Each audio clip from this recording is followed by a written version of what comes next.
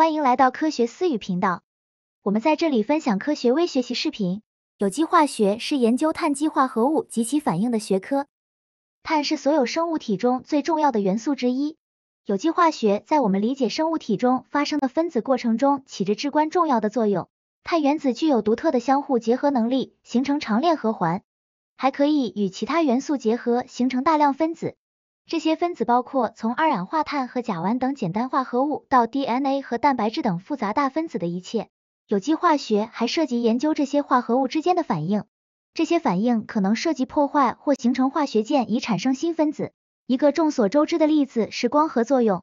植物利用来自太阳的能量将二氧化碳和水反应生成葡萄糖和氧气。有机化学中研究的其他反应包括涉及酸和碱的反应。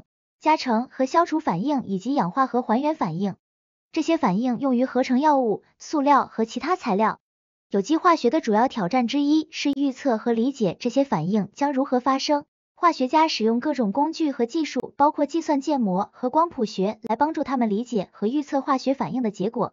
有机化学在医学、材料科学和农业等领域有着重要的应用。例如，许多重要的药物都是基于有机分子的。包括阿司匹林、青霉素和化疗药物。有机化学对于塑料和纤维等新材料的开发也是不可或缺的。近年来，人们对可持续和绿色化学的兴趣越来越大，旨在开发对环境友好且使用更少资源的化学工艺。有机化学在这一领域发挥着重要作用，因为化学家致力于开发更加环保的新反应和新工艺。总的来说，有机化学是我们理解发生在生物体和我们周围物质世界中的分子过程的重要研究领域。